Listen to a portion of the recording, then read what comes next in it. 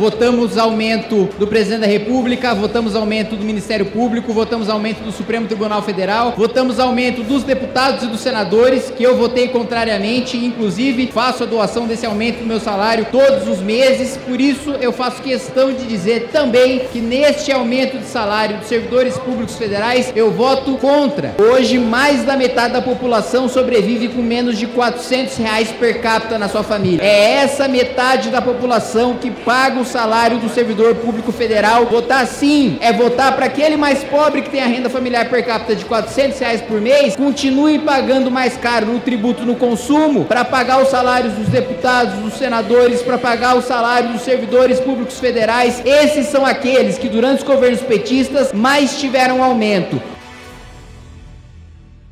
A medida provisória 1170 promove alterações em diversos diplomas legais, com a finalidade de majorar em 9% a remuneração dos servidores. Para tal, o governo reservou 11,7 bilhões para reajuste de todas as categorias. Estamos discutindo uma medida provisória com reajuste de 9%, um reajuste linear. Mas é preciso dizer, contrariamente ao que foi dito pelo nosso colega aqui em Que tem seis anos que não há aumento para os servidores públicos federais, e que os salários tenha correção inflacionária sequer. Então não estamos falando de nenhum aumento que, como disse o deputado, possa prejudicar o povo brasileiro. Pelo contrário, estamos falando de uma reposição ainda no limite de apenas 9%, que não repõe o conjunto da perda inflacionária de todo um período de seis anos. No primeiro ano do presidente Lula, nós já fizemos o pacto, a negociação e um reajuste de 9%. Reajuste no auxílio alimentação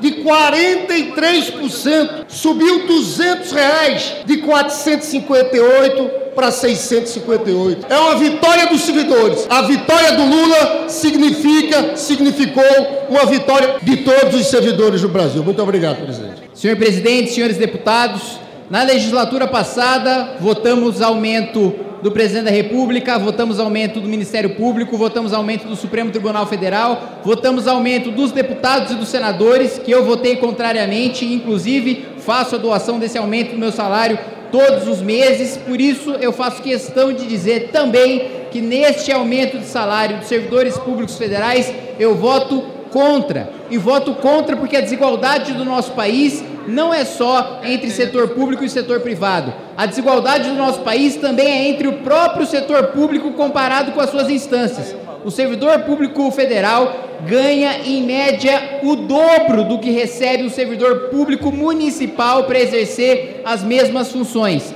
Justamente por isso, o meu voto é contrário, porque o servidor que está na ponta, está mais próximo do cidadão, que está no município, não merece receber menos do que o servidor público federal, só porque o servidor público federal está vinculado à União e não está vinculado ao município. A cidade de São Paulo, para cada 11 reais que o cidadão paulistano paga de imposto, só um real volta da União. Ou seja, o paulistano trabalha, produz, paga os seus impostos e recebe uma micharia em retorno do poder público para os seus próprios servidores receberem os seus salários.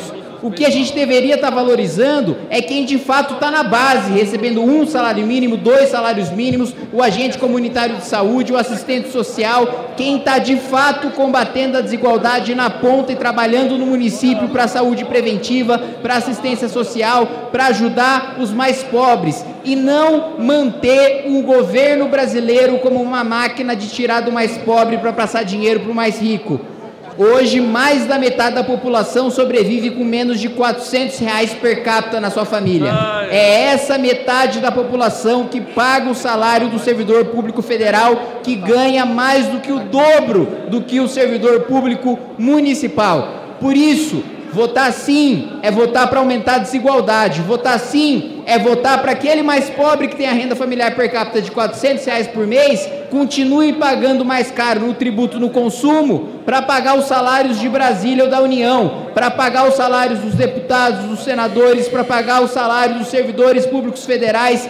Esses são aqueles que durante os governos petistas mais tiveram aumento e agora essa política se mantém. Enquanto servidores municipais estão numa situação absolutamente sucateada, largados, sem condições de trabalhar, o servidor público federal, governo após governo, consegue aumentos acima do que os outros servidores, inclusive dos estaduais. Por isso, presidente, meu voto é não.